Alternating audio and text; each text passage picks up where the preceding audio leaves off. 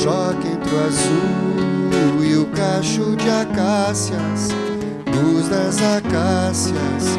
Você é mãe do sol, a sua coisa é toda tão certa, beleza esperta.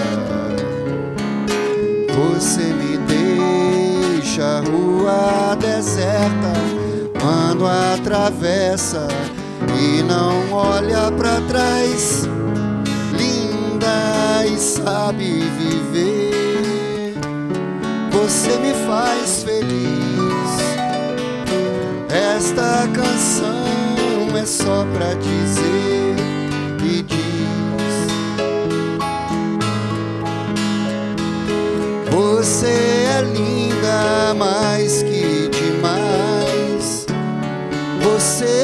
é linda sim.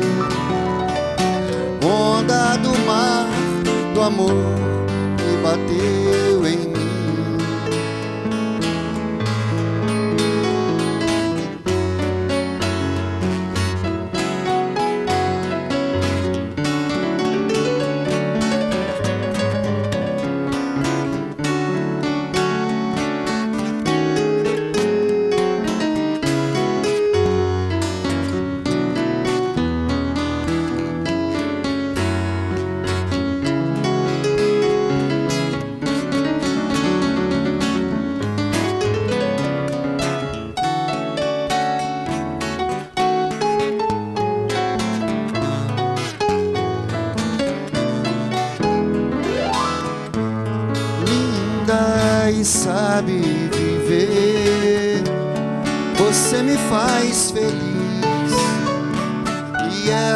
canção é só pra dizer e diz: Você é linda mais que demais. Você é linda sim onda do mar do amor que bateu em mim.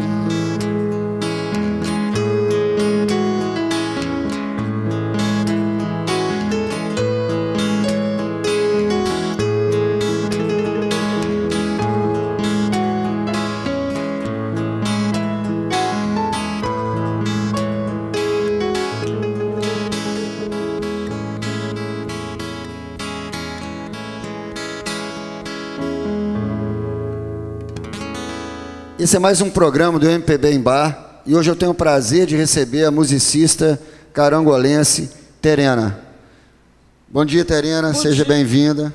Bom dia, Sandro. Como é que vai você? Tudo bem. E eu queria começar te perguntando da onde partiu o seu interesse para o piano, seu interesse pela música, como começou isso com você?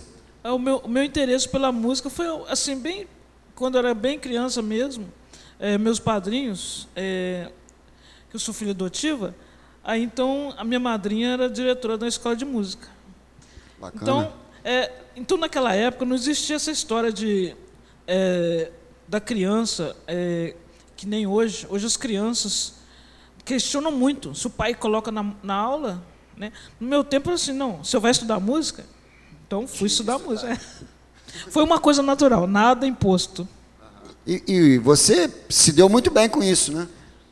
Com certeza. por incrível que pareça. Não, muito bem. A primeira vez que eu ouvi aquele teclado, assim, eu falei assim, gente, como é que você aprende a tocar no, é tanta tecla? E você já começou, o seu primeiro instrumento foi piano? Tá. Foi piano. Aqui em Carangola mesmo? Foi em, é, foi em Carangola mesmo, tinha o conservatório da dona Conceição Castro. É- Ela que era sua professora. Não, minha primeira professora foi a Renata Facchini, que era aluna da dona Fátima, Maria Onde Fátima. que era esse Castro. conservatório em Carangola? Era ali na rua Santa Luzia. E você desenvolveu, e como é que foi isso? O que, que você foi escutando quando você começou a tocar? O que, que você gostava de tocar? Era mais clássico, era mais popular? No, na época era só clássico. Só clássico. É. Me dá um exemplo, assim, o que, que você tocava? Você pode falar assim, um- uma música assim, que você lembra dessa época que você tocava? Nona Sinfonia. Era, tinha tinha os, os livros, é, os métodos de, de músicas né, clássica. Meu primeiro recital foi lá no tênis clube, tocando uma música Os Bebês Dançam, Ah, bacana. né, nos anos 60. Bacana. Inclusive você hoje em dia faz recitais, você dá aula de piano, É, do- você toca em casamento. Como você faz para lidar com isso tudo? Como é que você controla isso? É, as, de uma forma assim fácil, as pessoas vão esco escolhem as músicas, né? Aí a gente vai, às vezes é improvisado também. Ah, sempre você sozinha? Ou tem às vezes uma outra pessoa num violão ou num contrabaixo? Ou geralmente é sozinho? Não sempre varia. Eu já tive várias parcerias, parceria de violão, de voz. E eu gostaria de saber assim, suas influências musicais e quem te ajudou também, quem abriu o leque para você musicalmente falando em Carangola. Nos anos 70, é, eu conheci o Neurécio e através dele conheci o João Francisco. Então, abriu mais assim o meu espaço porque antes eu tocava só aliás, deixa eu voltar um pouquinho atrás. Naquela época, é, anos 60, era proibido tocar música de ouvido, tocar música popular. Mas aí eu via a minha professora tocando música de ouvido, aí eu chegava em casa e tocava também. Foi o que me ajudou, sabe? Fez você desenvolver. É. E também naquela época existia muitas essas coisas assim de preconceito, de racismo, e muitas pessoas duvidaram de mim. E essas pessoas, sem querer, elas me ajudaram a desenvolver. É, através assim de do Neurécio. O Neurécio gostava muito assim de, de jazz, né? Assim, Poxa, que bacana. São, são uns acordes, quando eu ouvia aqueles acordes dissonantes, assim, gente, dava uma emoção maior. É, eu comecei a tocar em conjunto, né? Isso me ajudou demais.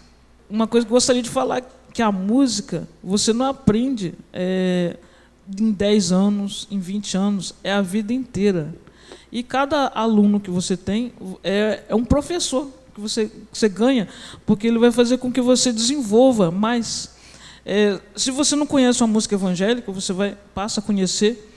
Aí você tem um aluno que quer tocar forró, né? Aí são, são aqueles acordes mais simples. Uhum. E então você a, a, música assim é uma coisa maravilhosa. Vai para vários caminhos. Né? Vários né? caminhos. Eu, então, por exemplo, eu escrevo partitura. Às vezes alguém é, quer registrar alguma música, eu escrevo partituras também, né? e a gente vai se adaptando. Cada aluno é, uma, é um caso.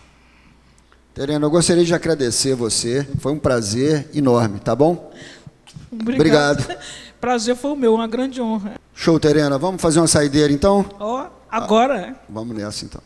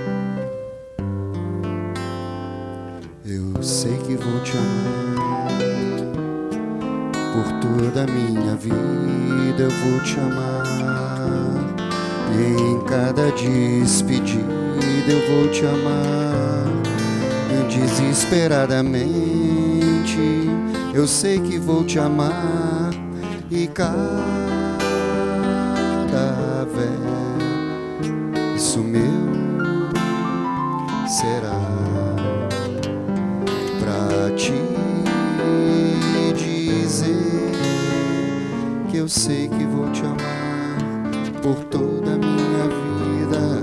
E eu sei que vou chorar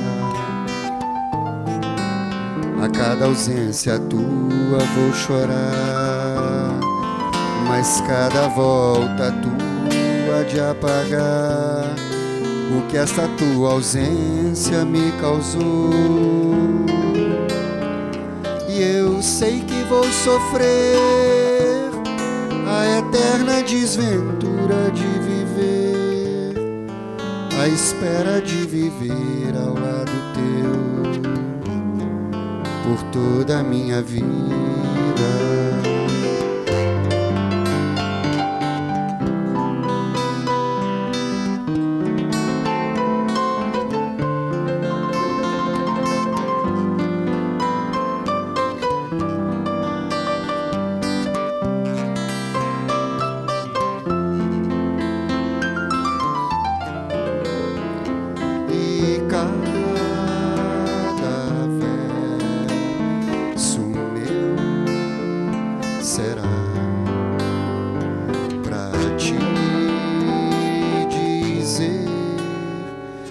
Sei que vou te amar por toda a minha vida.